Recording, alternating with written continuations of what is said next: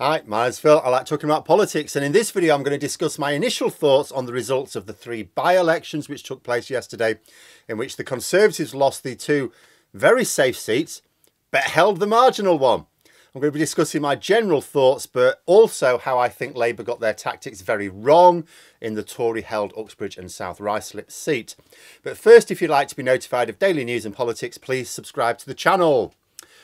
Right, so what should we talk about for the next two days? I know, by-elections. So the Tories lost two of the three by-elections and yet they will be absolutely delighted today. There'll be Tory MPs cheering today. Many Tory MPs said that winning any of the by-elections would seem like a win and the one they thought they would have had a better chance in is Selby. The fact that it was Uxbridge is probably the best outcome for Sunak personally because although it was down to a local issue, which will not help him in the general election. It would have been better for the Tories in general to have won Selby and lost Uxbridge. It at least stops Boris Johnson going around saying, I would have won it, you know. I would have won the seat. Because Sunak can now say, well, I actually did win the seat, Boris. But I said a while ago that I thought Labour should have played a different card here. The issue was ULEZ, the ultra-low emission zones in London, which are being expanded across the, the area. They are unpopular in like conservative areas like this. The reason the Tories were able to capitalise was by blaming Labour for it, because Labour's Mayor of London, Sadiq Khan, has been rolling it out. However, and I said this weeks ago, both the original scheme and the expansion are a conservative policy. So a few weeks ago, I did a video. The Conservatives, they picked absolutely the right strategy in making the by-election about ULEZ. Of course, if they'd have fought it on national policies, they'd have had their arse handed to them.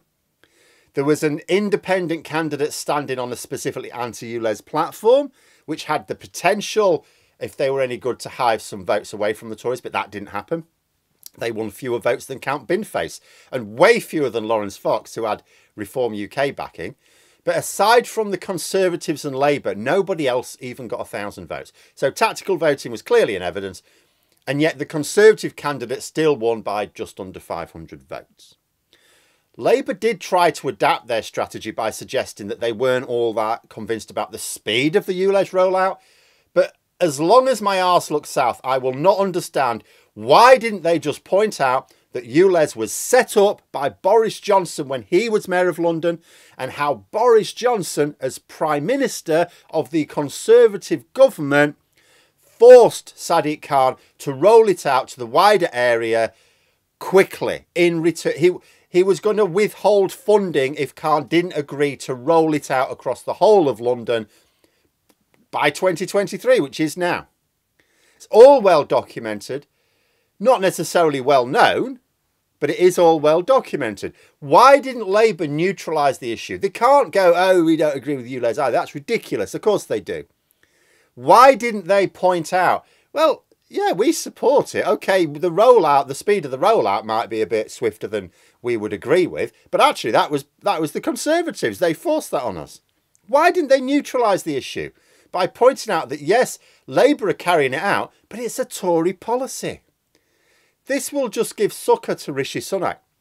There's a there's a good and disappointing way to see these by-election results, of course. The positive way is by seeing that the Conservatives lost two really safe seats. Both Selby and Somerton were won by roughly 20,000 majorities at the last election. Really safe seats. Labour won Selby with in excess of a 20-point swing by over 4,000 votes. The Lib Dems absolutely smashed Somerton. Couldn't believe it. They had a 28 point swing and a majority of 11,000 votes. 11,000 vote majority. They overturned a large Tory majority. They won by 11,000 votes in a by-election with just over 44% turnout. Now, 44% turnout is actually really good for a by-election, but it's still way lower than for a general election. I mean, for goodness, it's a stonking lead. The Tories were smashed. That was a proper drubbing. And I'll also point something else out about the results. In both of the seats where Reform UK stood, they got under 4% of the vote. Now, I've said a few times, the poll rating for them with the online posters, pollsters rather, is inflated. Like even YouGov, I say like the two good ones are YouGov and Ipsos Mori in terms of they get accurate results when you compare them to actual polls, as in elections.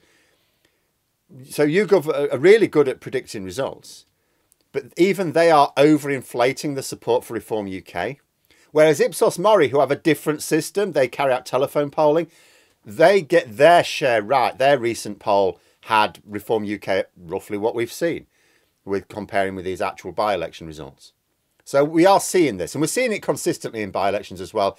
Reform UK, when you look at how many votes they actually get compared with what the online pollsters say, Reform UK don't get anywhere near as much.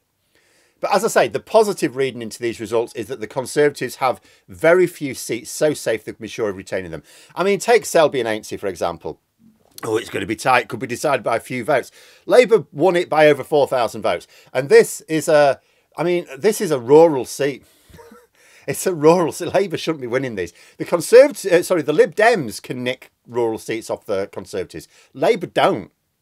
So they haven't just, even if it, even if the Tories had won that by, say, 500 votes, that would have been really worrying for the Conservatives that Labour could even get that much of a swing. Because you'd look at seats that don't have 20,000 majorities, like 15,000 majorities, you think, well, they're gone. But Labour absolutely pole vaulted over the line. You know, and it may well be that the Tories win both of these seats back at the general election. We could have the weird situation where the Tories win Selby back, but lose Uxbridge you know, although I will say the boundary changes that are happening in Selby, because Selby, at the moment it's Selby and Ainsty, and it basically just becomes Selby. So Labour have a better chance of retaining Selby. But that doesn't stop Conservative MPs with equal or smaller, smaller majorities, as I say, being really worried by these results. But Sunak will be delighted at holding Uxbridge. Uh, even, you know, it was only a few hundred votes. And it was only down to having a local issue to work on as well. You know, this will not occur in the general election. London is one of the very few parts of the country where Labour have any sort of executive power. So blaming Labour for anything doesn't really work across the country. And even Uxbridge, as I say, there's a good chance that actually that will fall when people switch their vote from protest vote because it's a by-election, do what you like, to actually we're voting for the government now. And in a by-election, as I say, people can vote for all sorts of reasons. It's purely symbolic. It, it makes no difference to parliamentary decisions. Yes, the Conservatives have lost another couple of MPs, but they've still got a large majority. But in the general election, people are mostly voting for the government. That is the main driver. Which government do we want? But losing Uxbridge is still really... I, I, I was very disappointed when I woke up. My partner told me, ah, they've held Uxbridge. Ah, bollocks. I didn't expect it, in all honesty. Selby was the one. I was like, it was quite clear that Labour were confident about Selby, but that was the one for me, and yet they smashed that by 4,000. Uxbridge, I knew that it was going to be tight because ULEZ was clearly having an issue and Labour were not neutralising it. And yet, you still thought they should still get over the line. So I didn't expect it. I'm not sure the Conservatives expected it either. It means respite for Sunak. He can hail it as a win. It will mean the pressure, pressure on him is now much lessened. Obviously, those ranged against him within his own party, they're going to point at the two really safe seats that fell. But so many people were expecting all three results to go against him. And there's another boon for Sunak as well. Boris Johnson, now, I hope I got this right. I had a quick look. Boris Johnson, I don't think ever retained a single by-election. He did win a by-election. He won Hartlepool during the vaccine bounce period of early 2021, right? a red wall seat that actually he would have won in 2019 had Reform UK not been standing. But he did take it in that by-election of 2021. Reform UK stood there, but they got like a few hundred votes. By then, he was riding high in the polls, vaccine bounce, all the rest of it. And uh, Keir Starmer had only just started to reform the party. He'd only been leader for like a year. And that went, that went to him. But in every Conservative seat, which went to a by-election, of which there have been quite a few now since the general election. Uxbridge and South Ruislip is, I think I'm right in saying, the only one which has been held by the Tories, and Rishi Sunak is the one who held it. Extra symbolic because it was Johnson's seat.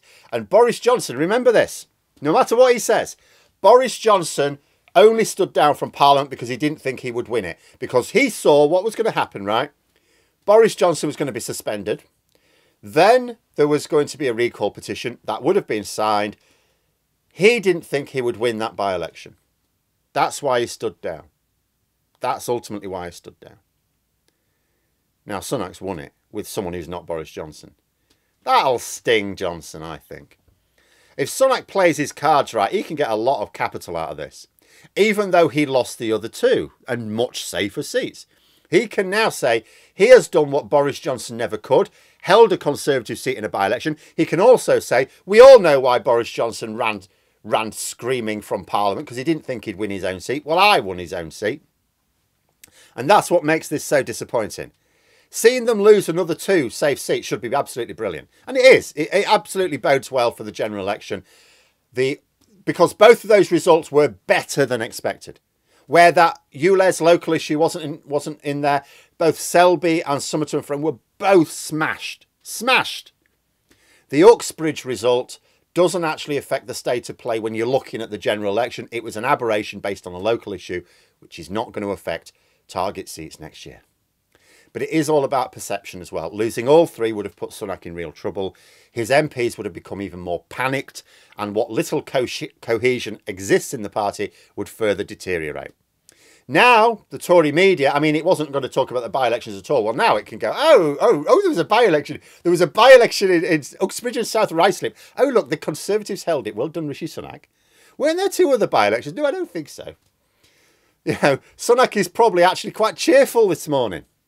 Mind you, I will finish off on a positive note. It's not all doom and gloom. For those opposed to the Conservatives anyway, it was noted that Rishi Sunak hid away yesterday. Why wasn't he out and about pushing for the win in Uxbridge? Why was that? Why wasn't he tweeting for people to go out and vote? Keir Starmer was. Keir Starmer was tweeting, can you go out and vote? No, no, nothing from Rishi Sunak, hiding away. Is it because Sunak knows he's an electoral liability? It's very odd for the leader of a political party fighting by elections to operate radio silence on the day of the election itself when you want your, your support to turn out and vote. It makes you wonder how party strategists intend to use him in the general election if they couldn't even trust him to tweet messages of support while the polls were open. Like there were all sorts of photos of some of the members of the cabinet um, doing the phone thing. Oh, can you get out and vote? Can you get out and vote? Suella Braverman was there, Greg Hands was there, Oliver Dowden was there. Rishi Sunak wasn't. Why wasn't Rishi Sunak doing any campaigning in the last few days? Hmm. In terms of the outlook for next year, nothing changes with the Tories holding Uxbridge. There was very clear tactical voting in all three by elections, helping the best placed anti Tory candidate. In all three, it was absolutely massive. The tactical voting was so strong that Laurence Fox of the Reclaim Party is boasting that he beat the Lib Dems. They were voting for Labour, you chump.